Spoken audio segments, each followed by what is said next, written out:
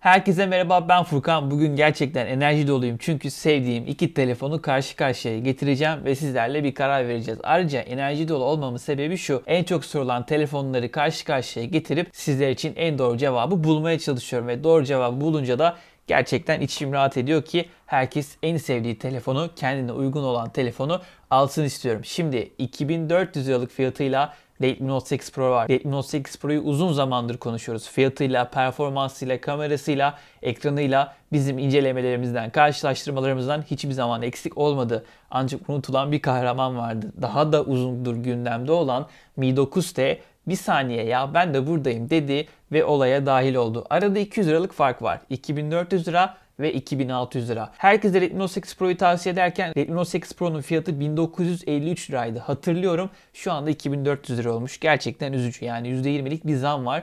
Bu telefonda 2900 liraya 3000 liraya satın alabilirken artık 2600 liraya alabiliyoruz. Yani bu yukarı çıkarken bu da aşağıya inmiş ama yani istedim ki doğru telefon alalım. Peki neden hangisi doğru? Gelin yakından bakalım. İlk olarak tasarımla başlayacağım.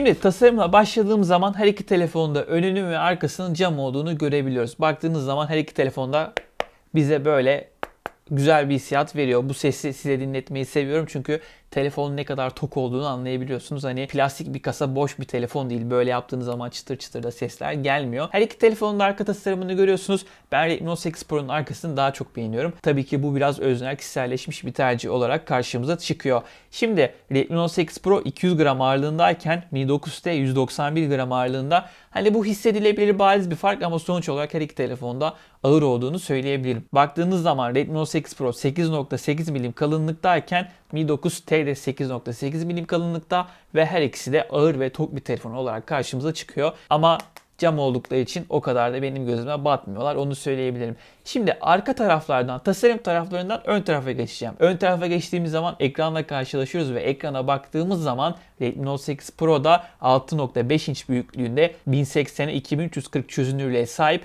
IPS LCD bir ekran görüyoruz. Sıkı durun. Şimdi Mi 9T'ye bakacağız. Mi 9T de 6.4 inç büyüklüğünde 1080'e 2340 çözünürlüğüne sahip bir AMOLED ekranla karşımıza çıkıyor. Yani bir tarafta IPS LCD ekranla karşılaşıyoruz. İşte bu telefonda, bu telefonda da AMOLED bir ekranla karşılaşıyoruz. Peki bu ne manaya geliyor? Mi 9T'yi kullanırken yani AMOLED ekranlı telefonu kullanırken renkleri daha doygun bir şekilde görebiliyorsunuz. Ancak Redmi Note 8 Pro'nun ekranı IPS LCD bir ekran ve benim biraz beğenmediğim bir ekran. Fotoğraf çekerken fotoğrafları soluk gösterebilen, film veya dizi izlerken biraz daha soluk izliyormuşum gibi gelen bir telefon. Ancak bu AMOLED ekran hiç öyle değil. Yani fotoğraf çekerken fotoğraf çekme zevkini artırıyor. Film izlerken veya YouTube'da bizi izlerken daha rahat, daha güzel bir şekilde bizi izlemenizi sağlayacak bir ekranı var ki bu tarafta Mi 9T çok çok önde. Ve şunu da söyleyeceğim. Mi 9T'de çentik yok. Çünkü pop-up kameraya sahip bir telefonla karşılaşıyoruz. Bu pop-up kamera sayesinde de AMOLED ekranda bir şeyler izlemeniz zevki gerçekten çok farklı bir boyuta geçiyor. Çünkü çentik olmayınca daha büyük bir ekranda izliyormuş gibi kendinizi daha fazla bir zevk içinde bulabiliyorsunuz. Ve şunu da söyleyeceğim.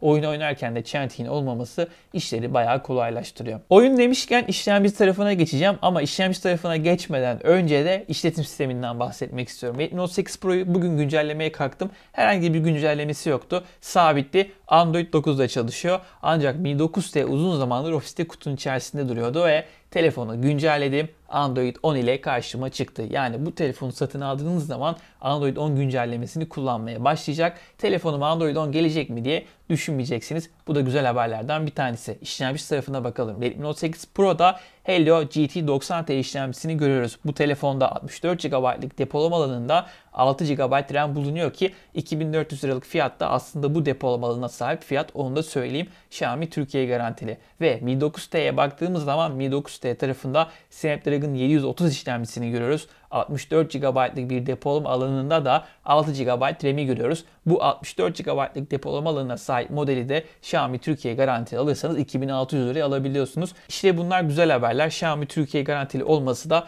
güzel. 6 GB RAM var. Bazı rakiplerde 8 GB RAM olması hani sizi bir düşündürüyor olabilir. Ancak telefonun içerisinde çok fazla uygulama açmaya kalkmadığınız zaman veya telefonu normal bir şekilde kullandığınız zaman 6 GB RAM de sizi mutlu edecek. Peki Akıllardaki soru şu. Hangi telefon daha hızlı?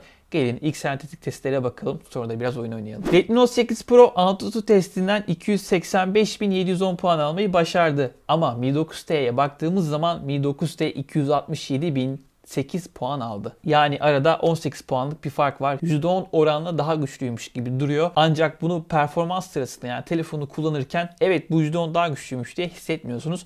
Onu da söyleyeyim. Adetlerini bulsun. Geekbench testlerinden de bahsedeyim. İlk olarak Geekbench 4 testine bakacağız. Tekli çekirdek skorunda 2478 puan alan Redmi Note 8 Pro, 2548 puan alan Mi 9T'nin gerisinde kalıyor. Ve baktığınız zaman çoklu çekirdek skorunda 7567 puan alan Redmi Note 8 Pro 7024 puan alan Mi 9T'yi geçiyor. Geekmatch 5'e baktığımız zaman da teknik çekirdek skorunda Redmi Note 8 Pro 476 puan alırken Mi 9T 546 puan alıyor ve Mi 9T burada geçiyor. Çoklu çekirdek skorunda da 1595 puan alan Redmi Note 8 Pro 1758 puan alan Mi 9T'nin gerisinde kalıyor. Yani Antutu'da bir taraf öne geçiyor.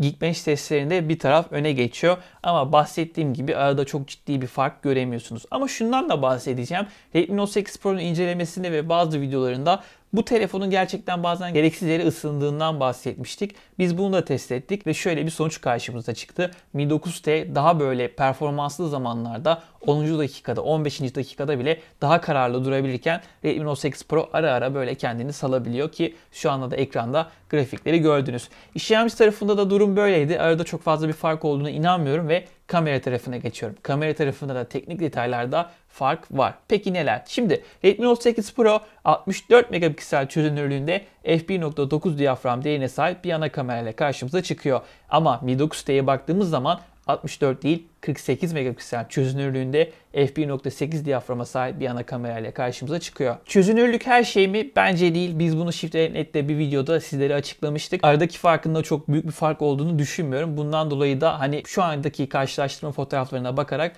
kendi kararınızı kendiniz verebilirsiniz. Ama şöyle bir fark ortaya çıkıyor. Mi 9T'de geriye sadece 2 kamera kaldı. Ancak Redmi Note 8 Pro'da geriye 3 kamera kaldı. Redmi Note 8 Pro'da 8 megapiksel çözünürlüğünde f2.2 değerinde bir geniş açılı kamera var. Bu geniş açılı kamera Mi 9T'de kendini 13 megapiksel çözünürlüğünde f2.4 diyafram değerine sahip bir kamera olarak buluyor. Redmi Note 8 Pro'nun geriye kalan iki kamerasına baktığımız zaman 2 megapiksel çözünürlüğünde derinlik ve makro kameralarını görüyoruz. Ve baktığınız zaman Mi 9T'deki geriye kalan tek kamera telefoto kamera ve iki zoom'u kayıpsız bir şekilde yapmamızı sağlayan bu kamerada 8 megapiksel çözünürlüğünde. Şimdi baktığınız zaman aradaki tek fark makro kamera gibi duruyor kamera sayısından dolayı. Makro kamera şöyle bir detay.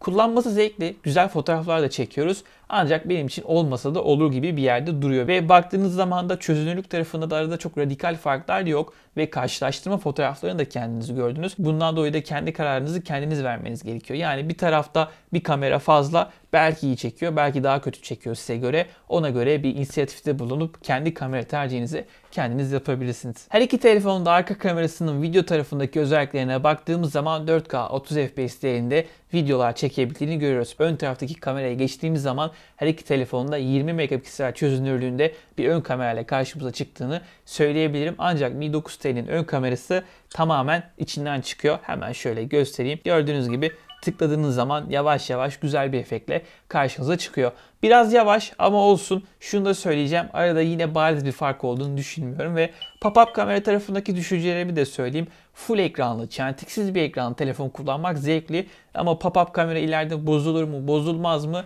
Hani bir deneyim gerekiyor. Onu tabii ki daha, daha deneyimleyemedim. Yani bir telefonu 3 yıl boyunca kullanıp pop-up kamerası bozuldu mu bozulmadı mı deneyimleme şansım olmadı. Ama buradaki de güven meselesi tamamen size ait. Ve baktığınız zaman da size böyle söylüyorum diye bu telefonun pop-up kamerasına güvenmediğimi zannetmeyin. Sadece aklıma gelen bir detaydı. Sizlere bahsetmek istedim. Bağlantı taraflarına bakalım. Bağlantı tarafında her iki telefonda 811AC Wi-Fi desteği sağlıyor.